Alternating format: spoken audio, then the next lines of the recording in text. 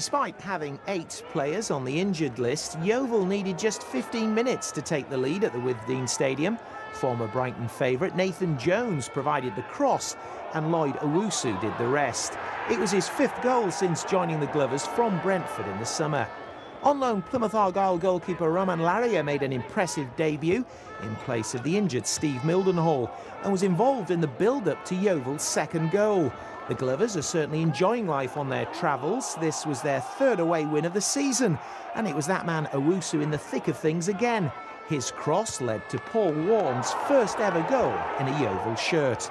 Brighton, who'd won all three of their previous home games, did manage to fight their way back into the game in the second half.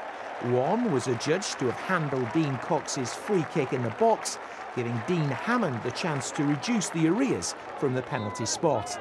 His effort beat Larrieu's despairing dive, but it didn't matter too much as Yeovil clung on for the three points to maintain their place among the early season pace setters.